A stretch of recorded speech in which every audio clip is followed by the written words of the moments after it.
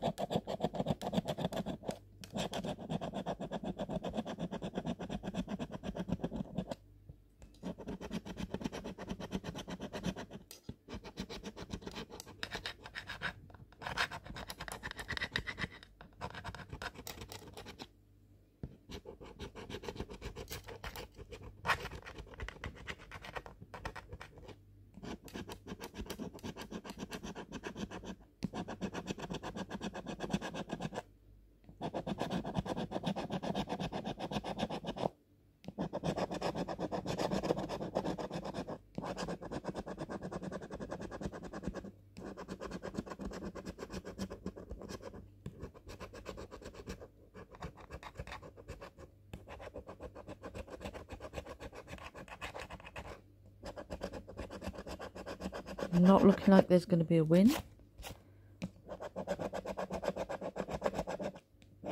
My last one. So we have no no matches on the ticket. That's £5 spent.